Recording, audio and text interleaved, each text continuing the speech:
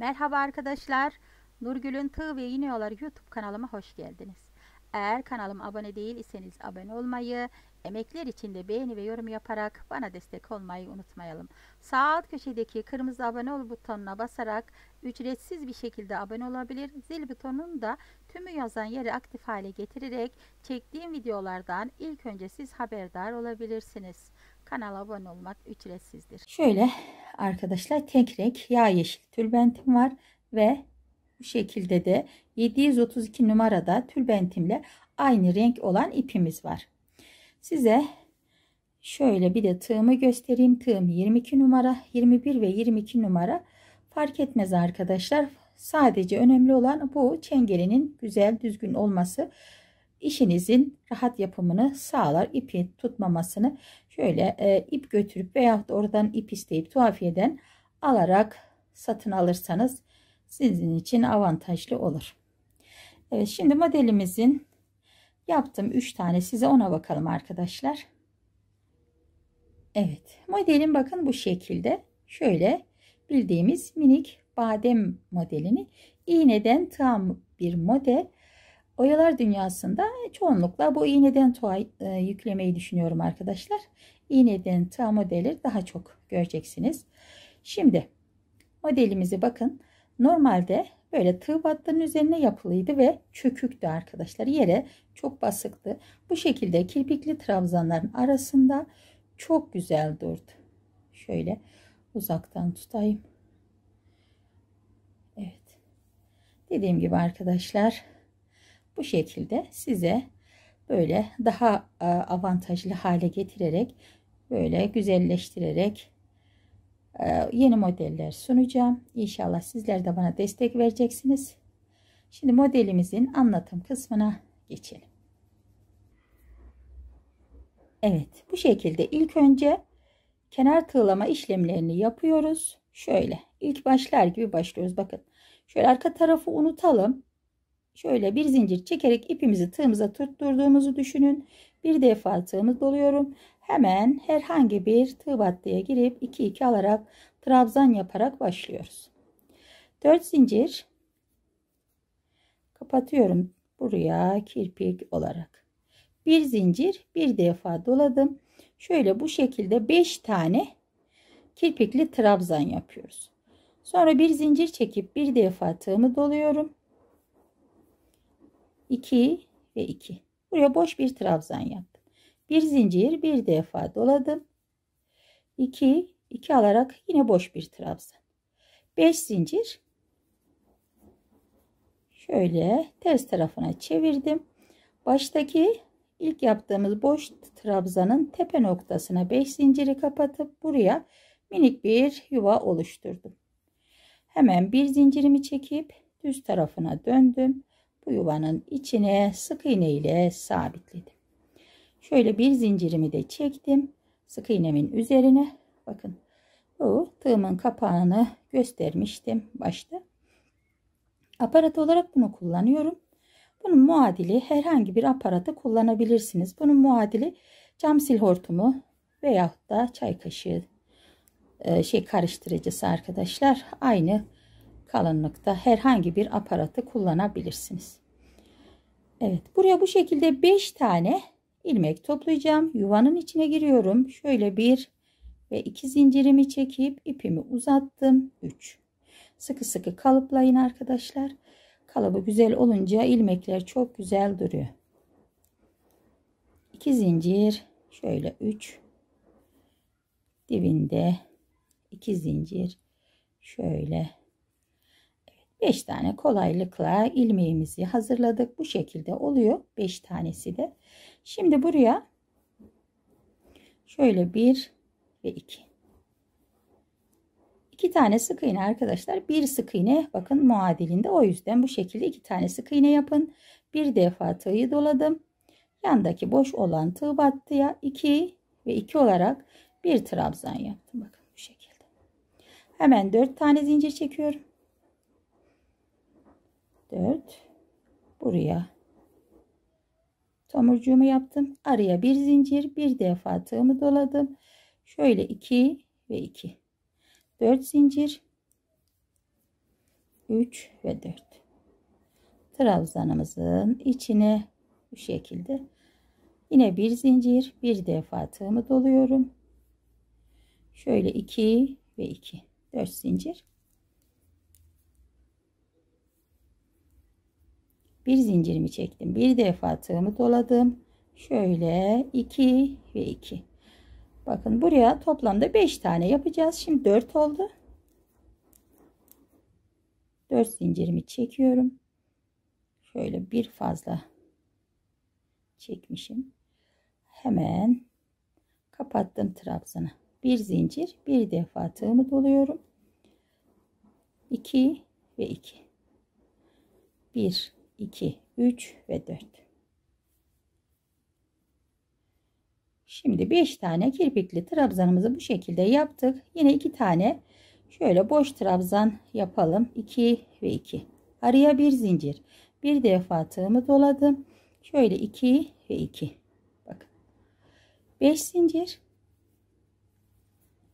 ilmeklerimiz için 5 zincirli yuva hazırlıyoruz ve ilk baştaki buraya boş trabzan tepe noktasına kapatıp bir zincir çekiyorum ve yuvanın içine sık iğne ile sabitliyorum. Dibine de bir zincir çekip ipimi uzattım bak. Şöyle geçiriyorum. Bunu buradan şimdi de çıkarabilirsiniz. Teker teker de veyahut da şöyle şişle de yapabilirsiniz. Birer kenar birer kenar. Aynı yuvanın içine giriyorum. Şöyle bir ve iki. Hemen taktım. Bu şekilde. 2 aynı yuvanın içine girip şöyle bir şöyle iki 3 oldu. 1 2 zincir 4 oldu. 1 2 zincir 5 oldu. Bakın 5 tane bu şekilde sıkı sıkı kalıpladık ve dibine yine iki tane sık iğne yapıyorum. Çünkü bir sık iğne hiç yokmuş gibi duruyor. O yüzden bir tane daha yapıyorum ki bakın ancak bir sık iğne gibi durdu. Bir defa tığı doladım. Şöyle 2 ve 2. 4 zincir. Hemen kapatıyorum trabzana. Şöyle arasına bir zincir, bir defa tığımı doladım. 2 ve 2. 4 zincir. Kapattım arasına bir zincir bir defa doladım yine 5 tane kirpikli trabzan yapıyoruz buraya 1 2 3 ve 4 arasına bir zincir bir defa doladım. 5. ve sonuncu trabzanımızı da yapacağız. Bakın arkadaşlar. 1 2 3 ve 4 şöyle beşinciyi yapalım. Şöyle sökülmemesi için 3 zincir çekiyorum ve bu aparatımızı çıkaralım arkadaşlar rahat bir şekilde. Evet. Bu şekilde oluyor. Şöyle hafif sola doğru da zaten. Şimdi ilmekleri e, çekerken de düzelecek. Şöyle de yine de yatırabilirsiniz. Bu şekilde oluyor bakın arkadaşlar. Modelimizin şimdi bademini yapılışına geçelim. Şöyle zincir çekerek ipimi tığıma tutturdum. Yapmış olduğumuz modelimizi alıyoruz ve ilk bu kirpikten girerek sık iğne ile buraya sabitledim ve 3 zincir çekerek başlayalım. 1 2 3 zincir. Şöyle ikinci ilmeğe sık iğne ile sabitledim. Bu şekilde 3 zincirden yuva hazırladım. 3 zincir 5 ilmeğimize 4 tane üçer zincirli yuva oluşacak bu şekilde. 3 zincir sıradaki ilmeğimi tutup sabitliyorum. Şimdi bakın biliyorsunuz artık bademleri sıklıkla yapıyorum bu sıra. Hemen 2 zincirimi çektim. Bir defa tığımı doladım. Son yuvaya giriyorum. 3 seferde aldığım 1, 2 ve 2. Bakın bir trabzan oluşturdum. Son yuvama. Şekil çok güzel duruyor arkadaşlar. Muhakkak bu şekil deneyin derim. Hoşunuza gidecektir. Köşede hemen 4 zinciri çektim. Çeviriyorum.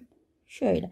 Bu trabzanla yapacağımız zaten arkadaşlar yarım bir şekilde durduğu için batmak zaten de mümkün değil. Hem de kesim işlemini yapıyoruz orayı bırakarak. Hemen bir sonraki 3 zincirli yuvaya girdim. Şöyle. Tekrar 3 zincir çekip bakın 4 olan yuvamın sayısı 3 oldu. 3 zin, e, yine köşeye gelince aynı işlem 2 zincir bir defa doladım. Son yuvaları bu şekilde yapıyorum. 1 2 ve 2. Evet bakın arkadaşlar son yuvalar bu şekilde trabzanlı olacak ve dönüşlerde de 4 zincir. 4 zincir tam geliyor. Şöyle düz yüzüne döndüm. Bir defa tığımı doladım. Trabzanlı yuvayı bırakıp bir sonraki yuvaya sıkı iğne ile şöyle kapattım. Bir yuva oluşturdum. Sonra hemen geldik. 2 zincir bir defa tığımı doluyorum ve 1 2 ve 2 bakın 4 3 ve 2 tane yuvam oldu yine 2 zincir çekip şöyle düz tarafına döndüm bir defa doladım tek yuvam kaldığı için onu da bu şekilde trabzanlı yapıyorum. Şöyle 2 ve 2 bakın oturtturarak trabzanımı yaptım. Hemen ipimi bir zincir çekip kopardım. Şimdi kenar şöyle sırlama işlemini yapacağız. Bu şekilde bademimiz hazır. Şöyle ipimi tığıma zincir çekerek tutturdum ve şimdi arkadaşlar bakın yeşil yuvadan değil de pembe yuvadan giriyorum. Şöyle daha güzel dik duruyor arkadaşlar. Eğer yeşil yuvadan girerseniz aşağı doğru böyle mayışık duruyor. O yüzden şöyle yukarı doğru durması için yuvanın içinden sabitledim ve iki tane zincir çekerek şöyle kenar sırlama işlemini yapıyorum bakın 2 zincir 1 2 zincir her yuvanın içine girerek bu şekilde zürafa gibi tığlıyorum 2 zincir şöyle bu tarafından bakın yakın yerinin 2 zincirli tarafından bu şekilde yapıyorum ve 5 tane zincir çekiyorum 5 zincirimi çektim düğümün yani yakım işleminin bu tarafından bir tanesini iki tanesini de öbür tarafından yapıyorum. Bu şekilde olunca daha böyle bakın arkada kalmış oluyor yanık izi görünmüyor. Yine 5 zincir. Evet bademimiz için bu şekilde 3 tane kirpik yaptık. Yine 2 zincir çekiyorum aşağı doğru 3 tane de şöyle yanda kirpik oluşacak. Çünkü sağ tarafta 3 tane oluştu. Solda da 3 tane ikişer zincirli zürafalarımız oluşacak. 2 zincir şöyle sabitledim ve bir zincirimi de çekip koparıyorum. Evet bakın. Çok güzel minik minik bademlerimiz oluyor. Hem de arkadaşlar birbirine yakın olması lazım. Bu oyanın özelliği de o şekilde birbirine yakın bademler tane de bunu yapalım. Daha iyi pekişsin inşallah. Öyle arkadaşlar. Bunu da şöyle krem ekru gibi seçtim. Renkleri de fazla olunca ne seçeceğimi bilemedim boğar diye. Bu şekilde ekru seçtim. İpimi tığıma tutturdum. Yine alıyorum modelimi bu şekilde. İlk kirpikten şöyle sık iğne ile ipimi sabitledim. Şöyle ilmeğimin içinden geçip tutturdum. 3 tane zincir çekiyorum. Ve buraya sık iğne ile sabitliyorum. 1 2 3 zincir 4 tane yuvamız olacak. Bakın 5 ilmeğe 4 tane yuva oluşuyor. Şöyle 3 zincir sonuncu dönen ilmeğimizi de düzeltelim ve bakalım düzeltmiş miyiz? Evet. Şimdi iki tane zincir çekiyorum. Bir defa tığımı doladım. Sonuncu ilmeğinde bakın içine bu şekilde şöyle sıkı sıkı 1 2 2 fazla trabzanımı uzatmadan şöyle küçük bir trabzan yapıyorum. Dönüşte 4 zincir. Hemen ters tarafına çevirdim. Bakın trabzanlı yuvayı bırakıp kesim işlemi uyguluyorum. Hemen 3 zincirli yuvanın içine bu şekilde kapattım. Bu 1. Yine 3 zincir. Bu 2. Ve yine kesim işlemini gerçekleştireceğiz. Yani trabzan yapacağız. Bakın 4 olan yuvam bu şekilde 3'e düşecek. 2 zincirimi çektim. Bir defa tığımı doladım. Şöyle yuvanın içine girdim. Bakın 1 ee, şöyle 2 ve 2 şöyle göstereyim bu şekil oluyor trabzanımız 4 zincir hemen çevirdim düz tarafına burayı bırakıp şöyle sıradaki yuvanın içine girip kesim işlemini gerçekleştirmiş olduk. 2 zincir bir defa doladım şöyle sonuncu yuvamız olduğu için yine trabzan yapıyorum. Bakın trabzanları fazla uzun yapmamaya gayret edin. Şekli bozulmasın. Şöyle küçük bir trabzan. Son yuvamız olduğu için iki tane zincirle dönüp bir defa doladım. Son yuvanın içine yine şöyle minik mi olacak şekilde bir üç seferde alıyorum. Uzun yapan arkadaşlar bunu 2-2 e, alarak da yapabilir tabii ki. Şöyle bir zincirimi çektim ipimi kopardım. Evet arkadaşlar bakın şöyle ana hattı bu şekilde oluyor. Bu şekilde yaparsanız denerseniz bakın daha güzel oluyor hoşunuza gidecek. Daha öbürüne rağmen muntazam ve kolay şöyle oluyor şu ipleri yakıp temizleyip geleyim arkadaşlar. Evet şimdi arkadaşlar bakın bu şekilde. Şöyle yine ipimi tığıma tutturdum. İlk yuvanın içinden sık iğne ile girerek ipimi buraya sabitledim.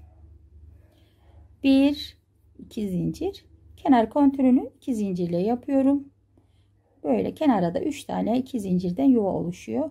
İki zincir sıradakine iki zincir şöyle en tepedekine kapatıyorum. Şöyle sağ taraftakine kapattım. 3 tane yuva oluşturdum bu şekilde. Şimdi 5 tane zincirden 3 tane kirpik yapacağız. Şöyle yuvanın içine girip sık iğne ile buraya sabitledim. Şimdi arkadaşlar şöyle e, bu yaktığım yerin sağ tarafına bir tane sol tarafına iki tane yapıyorum hemen kapatıyorum bu şekilde. 1 2 3 4 ve 5 kapattım modelimi. 1 2 zincir. Ortaya 3 tane kirpiği yaptık bu şekilde. Şimdi kenarlara da yine ikişer zincirli 3 tane yuva yapacağız bakın. Yuvaların içine inerek 2 zincirimi kapatıyorum sık iğneyle tekrar 1 2 zincir. Sonuncu yuvama da kapattım. Bu şekilde bir tane de zincir çektim. Evet bademimiz bu kadar arkadaşlar. Minik minik böyle bademler oluşuyor. Evet bu da rengi de badem rengi gibi. Çok güzel açtı arkadaşlar. Evet iplerimi yakıp temizleyip hemen geliyorum.